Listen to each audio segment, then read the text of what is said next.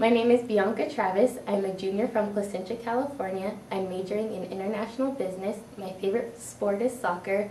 Someday I want to sing on an international tour, and my favorite food is ice cream.